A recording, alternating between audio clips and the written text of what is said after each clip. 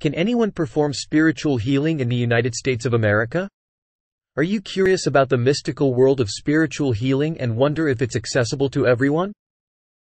Welcome to our page, where we explore the realm of spiritual healing and delve into its possibilities in the United States. 1. Spiritual healing is an ancient practice that taps into our connection with the divine energy. 2. Many believe that spiritual healing can help promote physical, emotional, and spiritual well-being. 3. While some may argue that only trained practitioners can perform spiritual healing, others believe that anyone who has a genuine intent can tap into this energy. 4.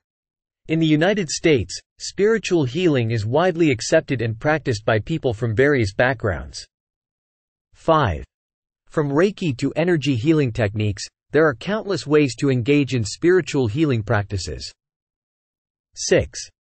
Some people find solace and healing through prayer, meditation, or connecting with nature. 7. It's important to note that spiritual healing should not replace traditional medical care but can complement it. 8.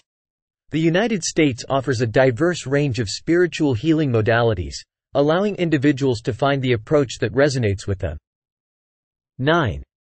Whether it's through attending workshops, seeking guidance from experienced mentors, or exploring self-healing techniques, the opportunities are endless.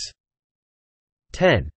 The belief that anyone can perform spiritual healing stems from the idea that we all possess an inherent ability to tap into divine energy.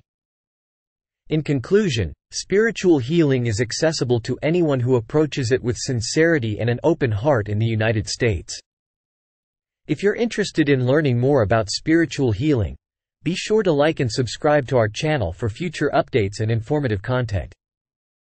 Thank you for joining us today as we explored the concept of spiritual healing and its accessibility to everyone in the United States.